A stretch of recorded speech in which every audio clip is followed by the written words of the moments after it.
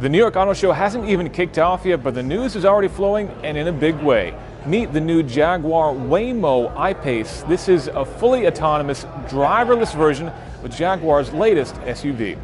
Now the I-Pace we've already seen, this is Jaguar's first all-electric SUV, 240 miles of range and coming to market this year.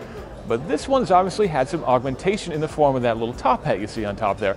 That contains the Waymo technology, Google's former self-driving car project that will make these cars able to drive themselves. We've already seen this technology applied to Chrysler Pacifica minivans and other vehicles as well. But with this partnership, Waymo is promising to buy up to 20,000 Jaguar I-Paces and outfit them for self-driving. The goal is for Waymo to create its own self-driving fleet that it'll deploy first in Arizona. Again, up to 20,000 of these vehicles. And soon, this year in Phoenix, you'll be able to summon one of these cars from your smartphone, tell it where you want to go, and completely driverlessly, that car will take you door to door, nonstop. That is a pretty exciting advancement in this field of self-driving technology, which is incredibly competitive, but also very controversial right now.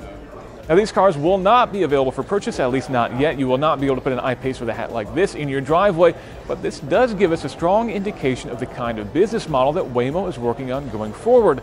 They want to create a transportation service, maybe a little bit Uber-like, to allow you to go from place to place, as well as developing technology partnerships with companies like Jaguar and Chrysler and other manufacturers as well.